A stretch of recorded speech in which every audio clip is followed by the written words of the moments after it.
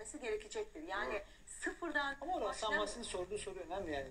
CHP seçmeni veya muhalefet seçmeni o istemeyecek ki. Hani öyle bir hesap ama eğer sadece Adalet ve Kalkınma... o dönemde